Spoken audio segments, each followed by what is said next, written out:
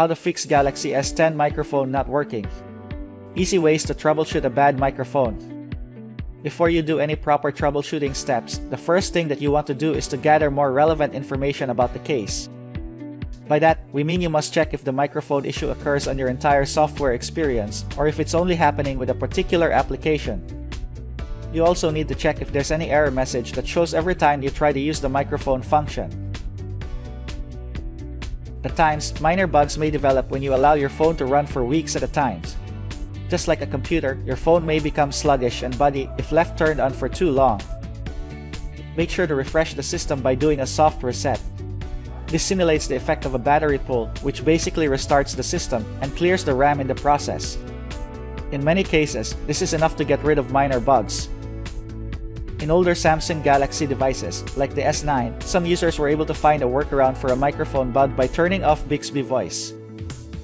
We found no proof that this can be applied to all microphone not working at issues for all Samsung Galaxy series, or with the Galaxy S10 in particular, but you might want to do it for a try. It can be done easily under a few seconds, so it's worth testing.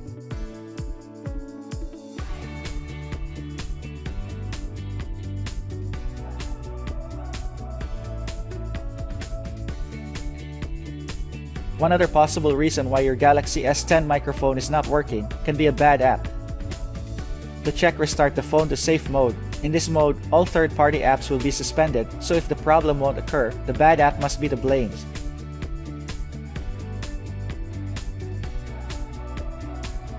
Like any other apps and services, your S10 microphone function relies on some default apps and services in order to work. At times, a new app or even a user may disable a critical app causing a chain of problems. To ensure that you have all default apps and services up and running, try to reset app preferences on your device. If nothing has helped so far, the final software solution to try is factory reset.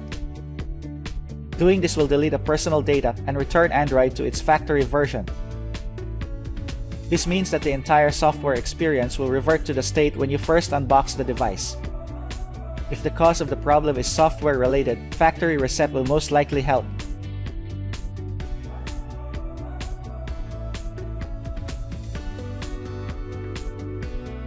That's it. We hope this video is helpful. Please subscribe for more S10 videos.